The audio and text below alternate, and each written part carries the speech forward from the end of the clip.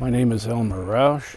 I served in the U.S. Air Force and I designed the Birler axe for CRKT's Forged by War program.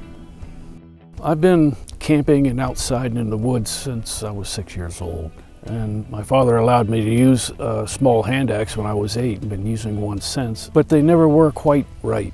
And I finally decided, well, why not just make one that fits my hand the way I want it to? And that's where the Birler axe came from. It's actually a modified Viking design. It will chop well. You can grip it up close to the head and do shaving for fine, close work. A thin enough work as a small felling axe, but thick enough that I could split something like kindling. It's light enough that you can wear it on your belt without being any more cumbersome than it has to be.